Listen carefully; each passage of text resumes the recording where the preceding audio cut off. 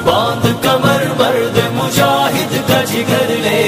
मोमिन है तो फिर मस्जिद अफसा की खबर ले। बाँध कमर मर्द मुजाहिद का जिगर ले। मोमिन है तो फिर मस्जिद अफसा की खबर ले। मजलूम की कुछ